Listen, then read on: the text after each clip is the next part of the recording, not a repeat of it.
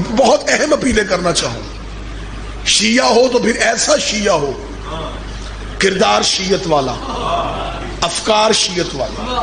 तेरे गाँव में तेरे अकीदे का दुश्मन भी अपने घर के बच्चों को कहे, इनसे मज़हब नहीं मिलता, लेकिन इनसे बेहतर इंसान कोई नहीं।